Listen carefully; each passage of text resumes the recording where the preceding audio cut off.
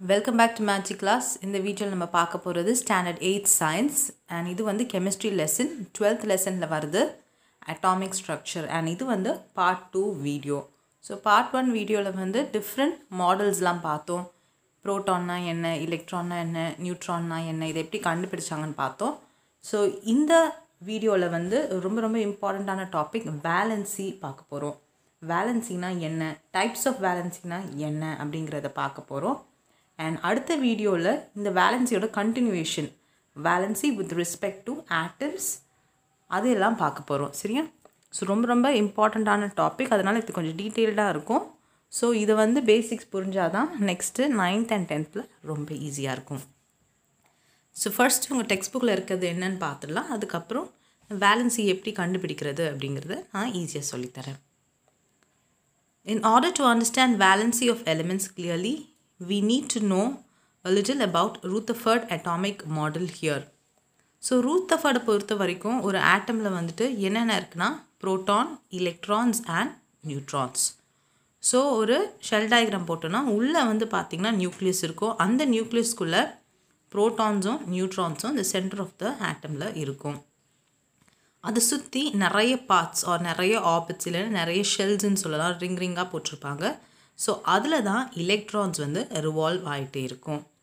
So an atom has a number of orbits and each orbit has electrons. So so நடுவில் இருக்கிறது வந்து neutron நியூட்ரானுக்குள்ளே இருக்கிறது வந்து பத் நடுவில் இருக்கிறது நியூக்ளியஸ் அதுக்குள்ளே இருக்கிறது தான் ப்ரோட்டான்ஸ் அண்ட் நியூட்ரான்ஸ் and அதை சுற்றி இருக்கிறது தான் electrons The electrons reveal, revolving in the outermost orbit are called as the valence electrons.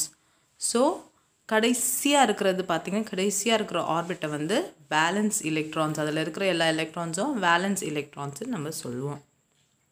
Look at the diagram here so இங்கே வந்து நியூக்ளியஸ் இருக்குது நியூக்ளியஸ்குள்ளே தான் ப்ரோட்டான்ஸ் நியூட்ரான்ஸ் இருக்குது அதை சுற்றி இருக்கிற ஆர்பிட்ஸில் எலக்ட்ரான்ஸ் ரிவால்வ் ஆகிட்டு இருக்கு. அண்ட் கடைசி இருக்கிற ஆர்பிட் அதில் இருக்கிற எலக்ட்ரான்ஸை தான் வேலன்ஸ் எலக்ட்ரான்ஸ் சொல்லுவோம். இந்த மாதிரி arrangement of electrons in the orbits is known is the electronic configuration okay so இது ஃபஸ்ட்டு இன்னமும் ஷெல்லில் வந்து மேக்ஸிமமாக டூ எலக்ட்ரான்ஸை வந்து அதால் அக்காமடேட் பண்ண முடியும். அடுத்தடுத்த ஷெல்லில் எயிட் எயிட் எலக்ட்ரான்ஸாக அக்காமடேட் பண்ண முடியும் மேக்ஸ் ஆஃப் எயிட்ஸ் ஸோ எயிட்டுங்கிறது வந்து தான் ஆக்டட் ஸ்டேட்டில் சொல்லுவோம் இல்லைனா ஸ்டேபிள் ஸ்டேட்னு கூட நம்ம சொல்லுவோம்.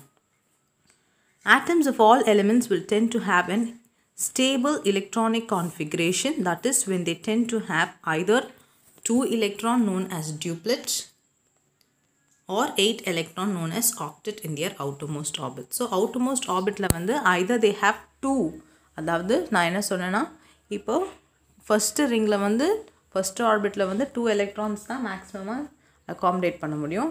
அடுத்தடுத்த ஷெல்லில் வந்து பார்த்தீங்கன்னா எயிட் எலக்ட்ரான்ஸ் அக்காமடேட் பண்ண முடியும்.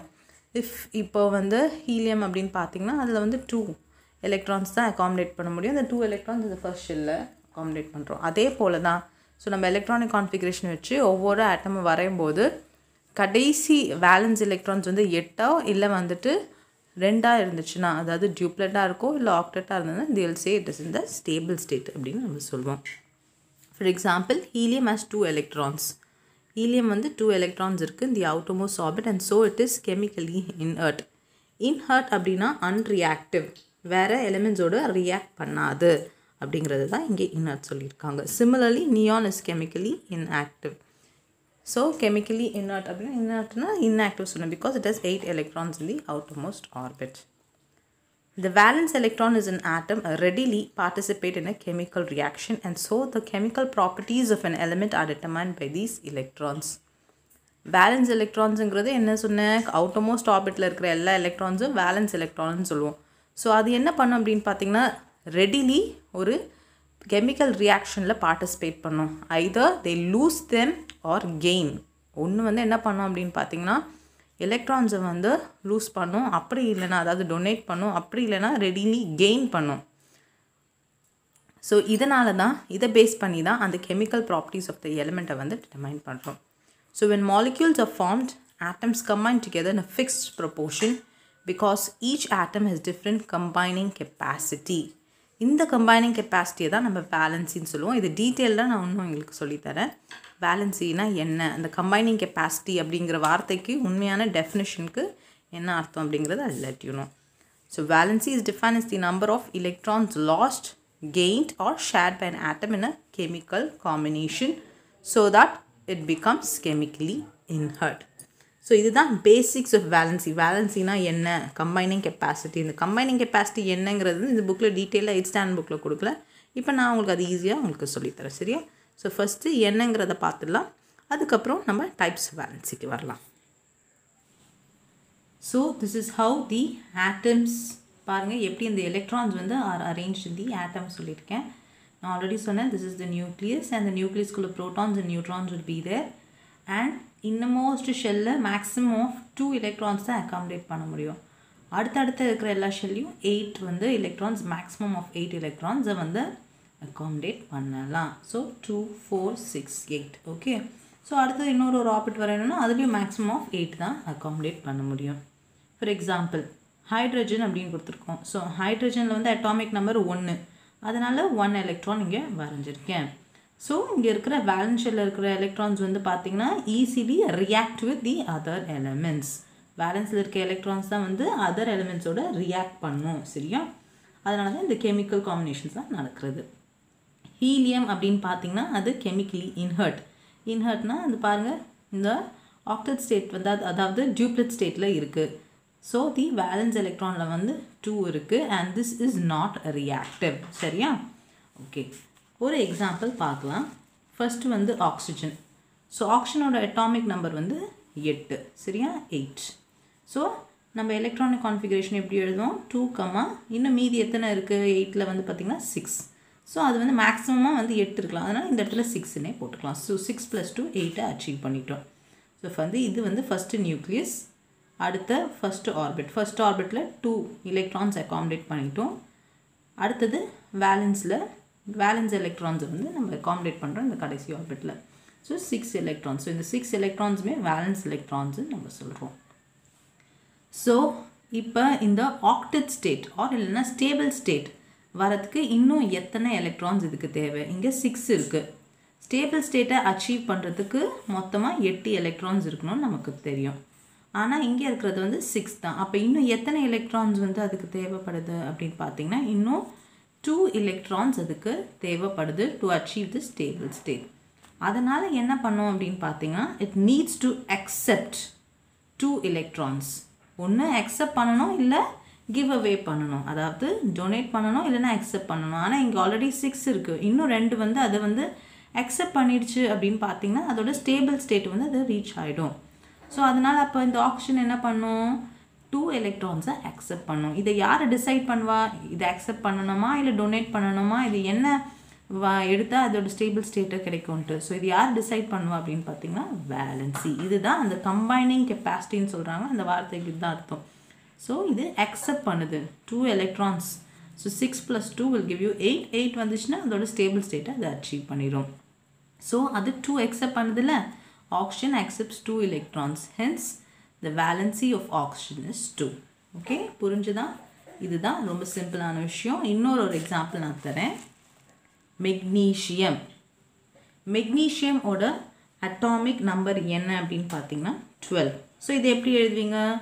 ஃபஸ்ட்டு வந்து two comma eight comma two so eight plus two is ten ten plus two is twelve twelve வந்து அகாமடேட் பண்ணியாச்சு. ஸோ இப்போ நம்ம டயக்ராமில் போடுறோம். உள்ள நியூக்ளியஸ் இருக்குது ஸோ ஃபர்ஸ்ட் ஷெல்லில் வந்து டூ அகாமடேட் பண்ணிட்டோம். செகண்ட் ஷெல்லில் வந்து பார்த்திங்கன்னா எயிட் அக்காமடேட் பண்ணிட்டோம். அண்ட் லாஸ்ட் ஷெல்லில் வந்து டூ அக்காமடேட் பண்ணிட்டோம். இப்போ இங்கே என்ன நடக்க போகுது? ஸோ இங்கே டூ இருக்குது ஸோ இதோட ஸ்டேபிள் ஸ்டேட் அச்சீவ் பண்ணுறதுக்கு இன்னும் சிக்ஸ் எலக்ட்ரான்ஸ் தேவை. பிகாஸ் எயிட் வந்து இருக்கணும் யார் இவ்வளோ எலக்ட்ரான்ஸ் தர ஆறு எலக்ட்ரான் யாராவது தருவாங்களா? அதுக்கு பதில் இந்த டூ எலக்ட்ரான்ஸ் அதை டொனேட் பண்ணிடலாம்ல. ஸோ இந்த யார் இதெல்லாம் டிசைட் பண்ணுறா வேலன்சி ஸோ எத்தனை எலக்ட்ரான்ஸ் அதை டொனேட் பண்ணுது? டூ எலக்ட்ரான்ஸ் டொனேட் பண்ணிட்டா கடைசியாக இந்த ஸ்டேட் இருக்கும் எயிட் இருக்கும்ல.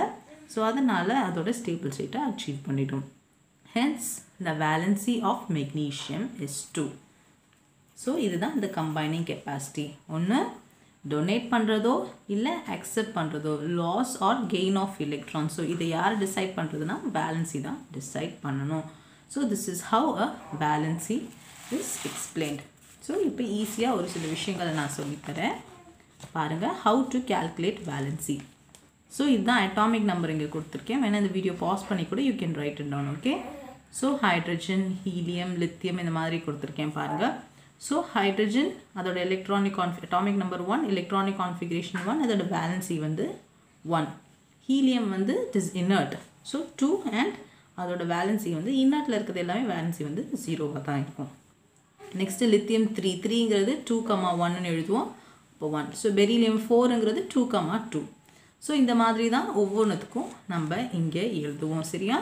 ஃப்ளூரின் நியான் ஸோ இதில் கெமிக்கலி இன்ஹர்ட் அப்படின்னு பார்த்தீங்கன்னா நியான் அதுக்கப்புறம் ஆர்கான் இது எல்லாமே வந்து கெமிக்கலி இன்ஹர்ட் இப்போ நம்ம சிலிகானுக்கு எப்படி எழுதுவோம்? டூ கமா ஸோ ஃபோர்ட்டிங்கிறத வந்து two comma eight comma four so அதோட வேலன்சி வந்து எப்படின்னு பார்த்தீங்கன்னா ஃபோர் ஸோ அட்டாமிக் நம்பரை வந்து நம்ம கண்டிப்பாக படித்தானோ அட்டாமிக் நம்பர் படித்தா தான் இது ரொம்ப ஈஸியாக இருக்கும். கால்சியம் அப்படின்னா டுவெண்ட்டி டுவெண்ட்டினா ஃபஸ்ட்டு ஷெல்லில் வந்து டூ அக்காமடேட் பண்ணலாம். அடுத்த ஷெல்லில் எயிட் அடுத்த ஷெல்லில் எயிட் அப்புறம் டூ இது எல்லாத்தையும் ஆட் பண்ணி பார்த்தீங்கன்னா I'll give you twenty so அதோட வேலன்சி வந்து டூ ஸோ இன்னொரு ஈஸியான விஷயம் நான் சொல்கிறேன் அட்டாமிக் நம்பர் படிச்சிட்டிங்க அப்படின்னு பார்த்தீங்கன்னா வேலன்சி எப்படி கண்டுபிடிக்கிறது அப்படின்னு சொல்லிட்டு. So last shell last shell என்னன்னு சொல்லுவோம் வேலன்ஸ் ஷெல்லில் இருக்கிறது தான் வேலன்ஸ் எலக்ட்ரான்ஸ் ஸோ எலக்ட்ரான்ஸ் இந்த லாஸ்ட் ஷெல் தான் வேலன்ஸ் எலக்ட்ரான் சொல்லுவோம் இப்போ அந்த வேலன்ஸ் எலக்ட்ரான்ஸ் வந்து ஒன் இல்லை டூ இல்லை த்ரீ இல்லைனா ஃபோர் இருந்ததுன்னா அதோட வேலன்சி வந்து is nothing but the valence electrons itself அதாவது கடைசி ஷெல்லில் வந்து ஒன்று டூ த்ரீ ஃபோர் இந்த நாளத்தில் ஏதாவது ஒரு நம்பர் இருந்ததுன்னா அதுதான் அதோட கரஸ்பாண்டிங் வேலன்சி ஒரு வேளை அந்த வேலன்ஸ் எலக்ட்ரான்ஸில் வந்து ஃபைவ் சிக்ஸ் செவன் எயிட் இருந்ததுன்னா அதோட வேலன்சி என்னவாக இருக்கும்னா எயிட் மைனஸ் இந்த number will give you the valency இங்கே பாருங்கள் இதில் காட்டுறேன். இப்போ பெரிலியம் எடுத்துக்கலாம்.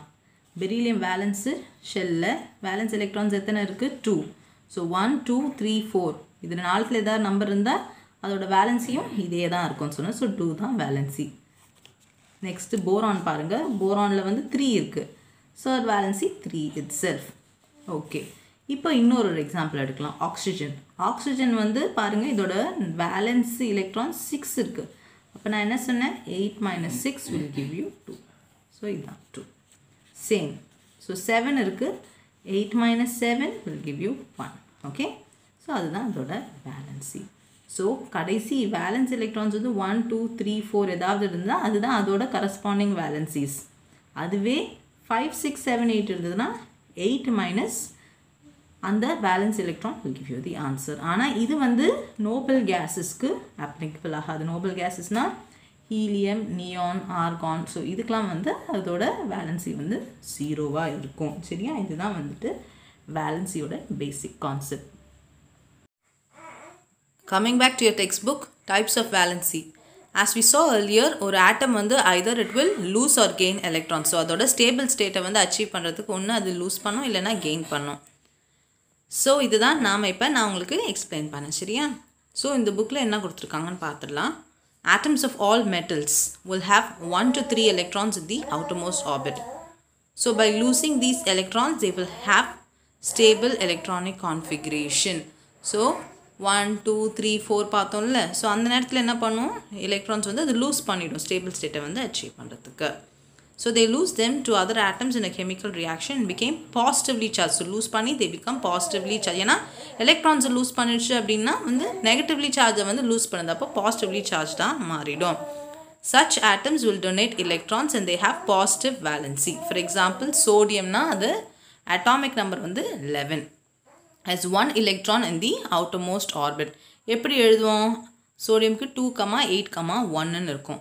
அந்த ஒன்னை வந்து என்ன பண்ணும்? It will lose its electrons and becomes positively அதனால சோடியம் வந்து பாசிட்டிவ் வேலன்சி இருக்குது அப்படின்னு சொல்லுவோம்.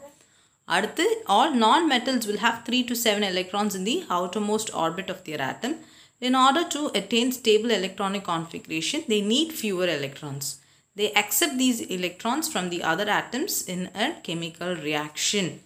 So இப்போ நம்ம பார்த்தோம்ல ஃபைவ் சிக்ஸ் செவன் எயிட் இருக்கும்போது என்ன ஆகுது அப்படின்னு பார்த்தீங்கன்னா ஸோ அந்த நேரத்தில் அதை அக்செப்ட் பண்ணிக்குது. ஒரு சில எலக்ட்ரான்ஸ் மட்டும் தான் அதுக்கு தேவைப்படுது. அக்செப்ட் பண்ணிக்குது. எலக்ட்ரான்ஸ் அக்செப்ட் பண்ணால் நெகட்டிவ் சார்ஜ் இன்னும் ஆட் ஆகிட்டே இருக்குது அதனால they will have negative valency for example chlorine atom atomic number seventeen seventeen எப்படி சொல்லுவோம்? Two comma eight comma seven electronic கான்ஃபிகரேஷனில் so seven இருக்கும்போது கடைசியாக இருக்கிற வேலன்ஸ் எலக்ட்ரான்ஸ் வந்து செவன் அப்போ இன்னும் ஒரு எலக்ட்ரான் வந்தால் போதும் இல்லை so it gains one electron to achieve it stable state so அதனால் குளோரின் ஹாவ் நெகட்டிவ் வேலன்சி இதுதான் வந்து types of valency so I hope வேலன்சிங்கிற basic concept உங்களுக்கு நல்லா புரிஞ்சிருதுன்ட்டு அடுத்த வீடியோவில் valency with respect to atoms and variable valency this these two again are very very important topic இதுவுமே டீட்டெயில்டாக உங்கள் டெக்ஸ்ட் புக்கில் இல்லாமல் எப்படி இருந்து நீங்களாக வந்து அதை சொந்தமாக டெரைவ் பண்ணி போடுறதுன்ற நான் சொல்லித்தரேன். Okay thank you students